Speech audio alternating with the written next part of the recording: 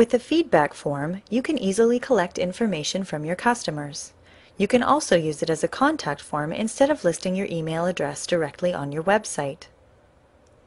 To add a field to your form, click Add Field to Form.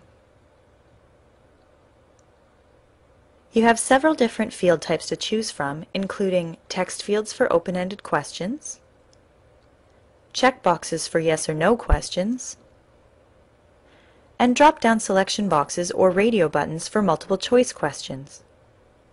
Just click Add Field beside the one you want to add.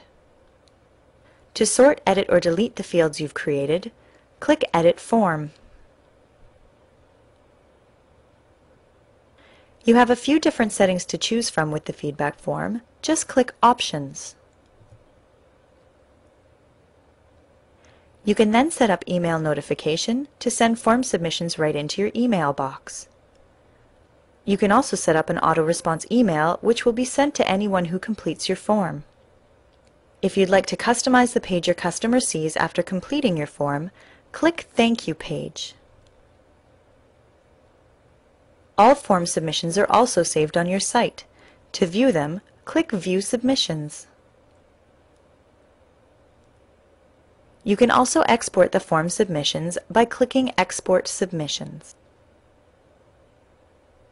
If you have any questions as you go, you can always find help on the left side over here or by clicking Help on the toolbar.